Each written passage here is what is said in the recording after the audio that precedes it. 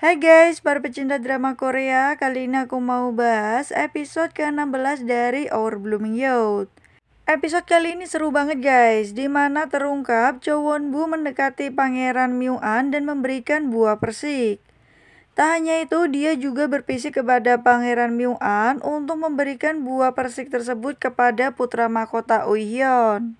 Karena saat itu dia masih kecil, dia pun menuruti perintah kakeknya dan memberikan buah persik tersebut kepada kakaknya sehingga membuat dia meninggal. Ratu terlihat sangat ketakutan dan dia menyuruh Pangeran Miuan untuk merahasiakan hal tersebut. Karena Jayi pernah memecahkan kasus mata angin, Hayon kemudian meminta bantuan Jayi dan menceritakan semuanya tentang Pangeran Miuan. Jayi hanya bisa memberikan pendapat bahwa Pangeran Miuan lah yang tahu sebenarnya. Liwon masih penasaran siapakah orang yang Jayi cintai. Dia berencana memberikan rumah yang sudah dia beli untuk Jayi. Jayi kemudian mendeskripsikan orang yang dia sukai di mana dia adalah putra mahkota sendiri. Mendengar hal tersebut, Liwon cemburu dan juga marah kepada Jayi. Jayi kemudian meminta hadiah yang akan diberikan Liwan kepada dirinya. Namun Liwan sudah merasa cemburu dan juga marah kepada Jayi. Dia pun kemudian mengusir Jayi keluar. Ratu sangat marah kepada Cho Won Bu karena dia memanfaatkan anaknya. Nah, seleksi untuk calon putri mahkota pun dimulai dan Jayi melihat semua kandidat yang akan menjadi istri dari putra mahkota. Soun terlihat dalam barisan peserta dan dia pun diseleksi sendiri oleh Ratu. Nah, kemudian Jayi memergoki Taigang yang sedang menuju ke belakang dapur. Dia kemudian mengikuti Taigang, namun di tengah jalan dia terhalang oleh beberapa orang sehingga kehilangan jejak dari Taigang.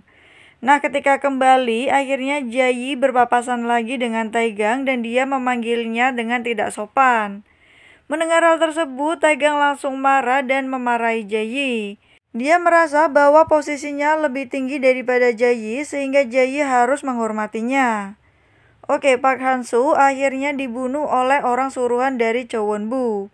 Detik-detik sebelum meninggal, ternyata dia bertemu dengan putra mahkota dan mengatakan bahwa sebenarnya orang-orang dari Byokchon bukanlah pencuri. Mereka hanya mengibarkan bendera putih di mana itu artinya mereka meminta bantuan.